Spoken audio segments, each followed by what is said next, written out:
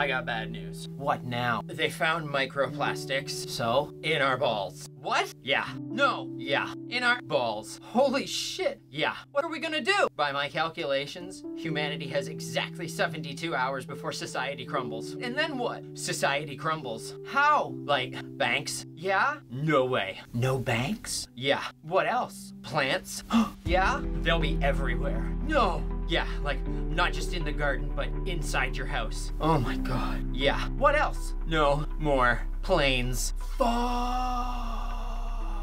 What about don't? I need to know. You don't want to know. What about. No hard don't rock no cafe. No more hard rock cafe. I'm gonna fucking end it right now! I told you not to ask. Tell me the Cheesecake Factory survived!